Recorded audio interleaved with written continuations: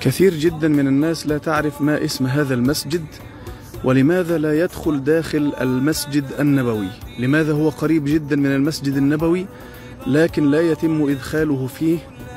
ولماذا يتم الحفاظ عليه كمسجد أثري هكذا؟ طيب هذا المسجد إخواني اسمه مسجد الغمام أو مسجد الغمامة.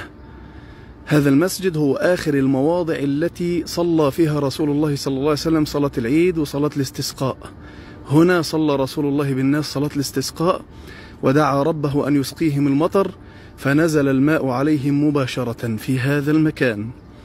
وسمي بمسجد الغمام أو الغمامة لأنه قيل أن النبي صلى الله عليه وسلم وهو يصلي بالناس جاءت غمامة فحجبت عنه الشمس حتى لا تؤذيه. هذا هو الموضع الذي صلى فيه رسول الله آخر صلاة وهذا مسجد سيدنا رسول الله صلى الله عليه وسلم.